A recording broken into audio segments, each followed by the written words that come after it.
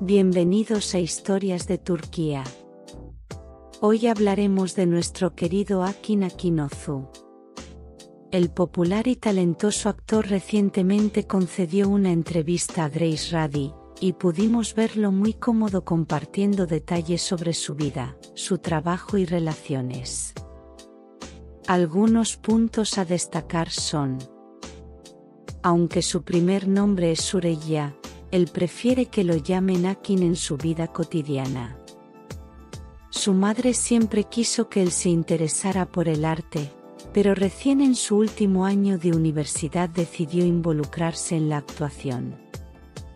Al principio, los productores de Erkai no creyeron que él fuera adecuado para interpretar a Miran Aslanbey, pero luego de cambiar su imagen, ellos consideraron que debían darle una oportunidad.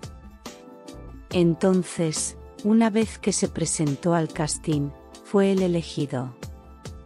¿Te imaginas a algún otro actor interpretando ese papel?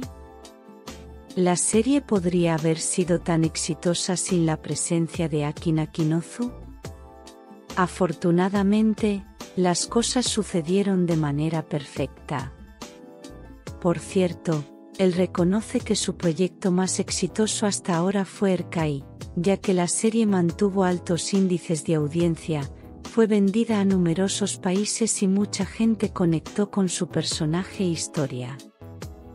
Sin embargo, también considera que ha alcanzado el éxito en otros proyectos, debido a la forma en que lo cambiaron como persona, y a las relaciones especiales que pudo construir gracias a ellos.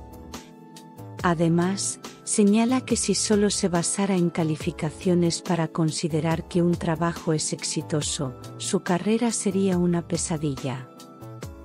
En la entrevista, Akin menciona que lleva más de siete años junto a su pareja Sandra, a quien conoció gracias a un amigo, y que lo que le atrajo de ella fue su sonrisa. ¡Qué hombre tan dulce!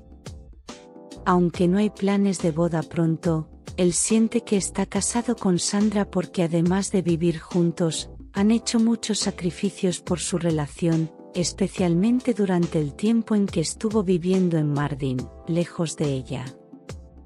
También añade que muchas cosas cambiaron a partir de Erkai, pero ambos creían en sí mismos y en su relación. Para él, todo eso es el matrimonio, lo demás es solo una firma. Y ahora, hemos llegado al punto que mencioné en el título de este vídeo. Si bien aquí no lo expresó de manera textual, pienso que podemos deducirlo. En un momento de la entrevista, Grace le pregunta a Akin si alguna vez engañó a Sandra, a lo que él responde rotundamente que no. Considero que con esta respuesta se pueden descartar los rumores de un romance con Ebru Sehin, dado que durante el periodo en el que fueron compañeros de trabajo, Akin ya estaba en pareja con Sandra, por lo tanto, los tiempos no coinciden. Para ser más clara, si tuvo un romance con Ebru, debió haber engañado a Sandra, y si no la engañó, como él dice, entonces el romance con Ebru nunca existió. Por supuesto, también existe la posibilidad de que haya mentido, y probablemente jamás lo sabremos. Aunque debo destacar que él, mencionó que a veces al actuar se sale del guion.